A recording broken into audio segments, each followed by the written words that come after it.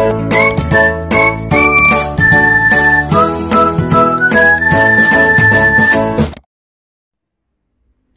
up, what's up mga kauso? Ito na naman si Makikyusuk TV, nagbabalik para sa panibagong vlog.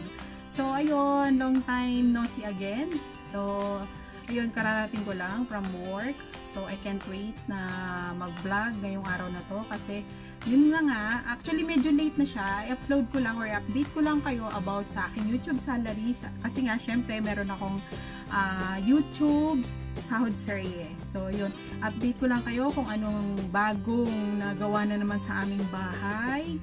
As usual, every month na aking sahod, uh, I promise na lahat yon ay ibabagsak ko lahat sa aming bahay.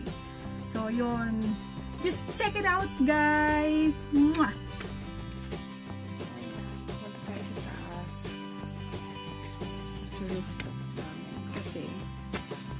Ito yung magiging bagong project. So,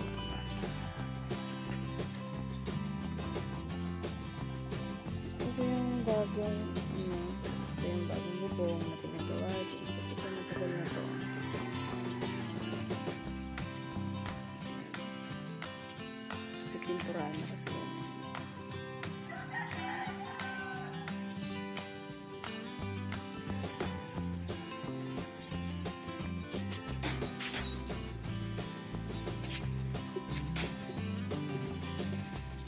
Wow, pwede na.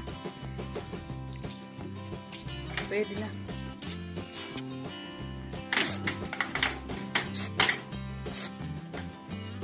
Uy!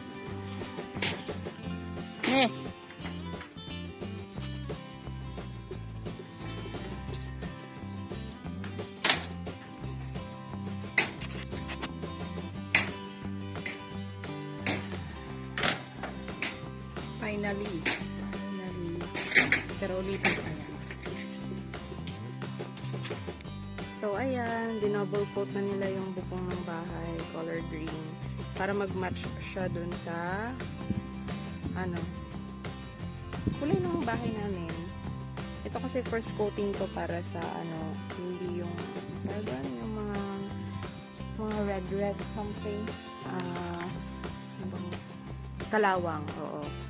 Kasi para hindi mag-reflect yung kalawang sa sa pintura na color green. So, ito, ayan.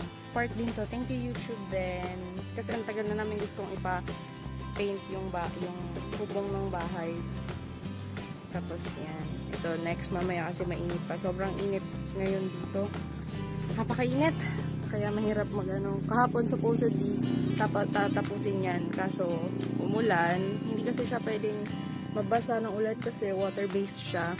So, matatanggal siya pag maulanan. So, unlike nito, itong red kasi, ano siya, um, gas. Uh, may gas na halo. So, ayan. Doon pa. Yung buong bubong sa part noon doon is okay na. Ito na lang. Tsaka yung sa kusina. So, itong bubong na to, from YouTube din to. Yung ginamit na pang bubong dito is from YouTube. And then, yung pagpintura din galing sa YouTube. So, ito yung rooftop namin. Ano siya, ito din yung next gusto din ni Mama project. Ito. Sorry, maraming sinampay. Tapos ito, itong for sa hagdan, yan yung papalitan din ng steel bar para safe siya. Kasi ito, ang tagal na to eh. Nagpa-rooftop kami because uh, nung sa ano, sa during Yolanda, na itong buong bubong namin natanggal kasi walang, parang walang ano dito. Walang nag, nagpe-prevent ng hangin para yan yung bubong namin. So, ito, tagal na to. Sobrang tagal na. Tapos ngayon lang din mapapaayos. So, yeah. Let's go down. Kaya hindi dito safe yung mga bata dito mag-a-upload. May door naman doon. So. So, yun mga kausol. Ah, sa tinagal-tagal ng aming bubong eh ngayon lang na medyo na na modify ang aming bubong. Yon, maganda na siya ngayon. Hindi na hindi na basta-basta kakalawangin or tutulo-tulo diyan, etc. At least, di ba?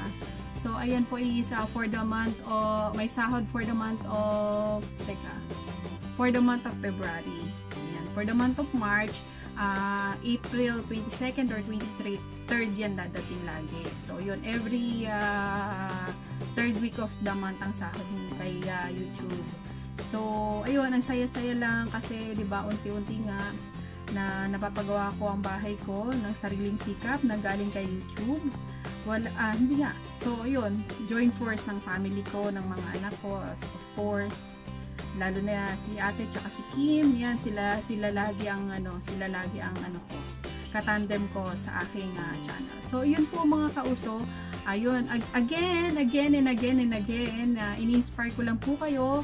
Syempre hindi po ako ulit. As usual hindi po ako nagyayabang. At saka totoo pong may kita sa YouTube. Totoo pong may kita sa YouTube. Konting sipag at syaga lang. Pero talagang kikita ka talaga. Hindi na kailangan ng ng ano ba tawag nito? Ano nga yun? Uh, hindi na kailangan ng networking. Yan. So, hindi ako nagne-networking. uh, actually, nag-networking ako before. So, dito ako nasulit kasi ito yung gusto ko. Masaya ako dito sa ginagawa ko. So, ayun. Diba? Ang saya-saya ko mga kauso, promise. Uh, sa every month na sinasahod ko, eh, marami akong bagay na nagagawa So yun nga, marami akong bagay na nagagawa sa aming bahay na hindi ko na kailangan mag-loan sa bangko or mangutang ng 5-6.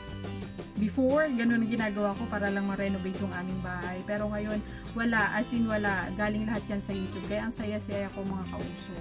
So, yun. Uh, next time sa aking vlog, ang, eh, ang gusto ko kasi i-renovate is yung aming uh, rooftop kasi sobrang, sobrang tagal na niya na nakatenga yon wala, wala, yung hagdanan, walang, wala man lang hawakan, ganon. So, ayun, gusto ko mapaganda yung aming rooftop. So, ang saya-saya mga kauso. Ayan, uh, update ko ulit kayo next month. Ayun, mga kauso. So, anyway, again, once again, remind po sa mga bago sa aking channel, uh, please pakipindot na lang po ang bating ang, ang subscribe button at syempre pati na rin ang bating ting para lagi kayong update sa aking mga i-upload na bagong video. So, see you guys! Mwah!